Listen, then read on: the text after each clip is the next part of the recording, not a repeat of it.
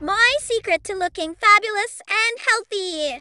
As a rising hot star, of course, I have to stay pretty and glowing. Well, that part comes naturally. Duh. But Daddy says I still have to keep a balanced diet, and me thinks so too for my wolf wellness. Many humans feed their pups differently. My daddy likes to feed me a mix of raw and kibble. Here I ate some raw chicken and dog food. He says it's better this way for a giant poodle baby like me.